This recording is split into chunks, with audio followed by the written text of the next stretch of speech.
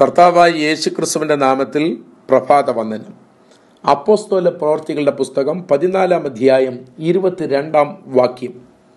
വിശ്വാസത്തിൽ നിലനിൽക്കണമെന്നും നാം അനേകം കഷ്ടങ്ങളിൽ കൂടി ദൈവരാജ്യത്തിൽ കടക്കേണ്ടതാകുന്നു എന്നും പ്രബോധിപ്പിച്ച് ശിഷ്യന്മാരുടെ മനസ്സ് ഉറപ്പിച്ചു പോന്നു. പൗലോസും ബെർണവാസും ഒരുമിച്ചുള്ള സുവിശേഷ യാത്രയിൽ അവർ നേരിട്ട രണ്ട് സംഭവങ്ങളാണ് ഈ അധ്യായത്തിലെ പ്രധാന പ്രമേയം. ഒരിക്കലും നടന്നിട്ടില്ലാത്ത ഒരു മുടന്തനെ യേശുവിന്റെ നാമത്തിൽ പൗലോസ് സൗഖ്യമാക്കി.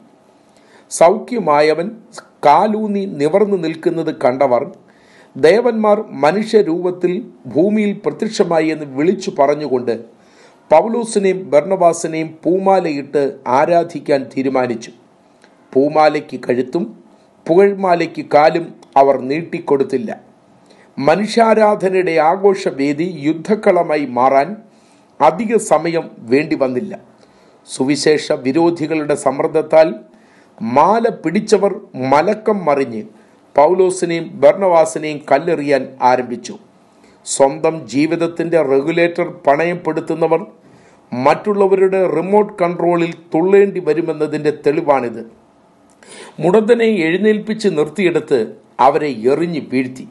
വാഴിക്കാൻ വന്നവർ തന്നെ വീഴിക്കാനിടയായി. സുവിശേഷകരെ എറിഞ്ഞിടാൻ കഴിയും. സുവിശേഷത്തെ എറിഞ്ഞിടാൻ ഒരു ശക്തിക്കും സാധിക്കുന്നതല്ല. ക്രിസ്തുവിന് വേണ്ടിയുള്ള കഷ്ടതയും കല്ലും ദൈവരാജ്യത്തിലേക്കുള്ള ചവിട്ടുപടികളായിട്ടാണ് ദൈവഭക്തന്മാർ എക്കാലത്തും കരുതിയിട്ടുള്ളതും കണ്ടിട്ടുള്ളതും.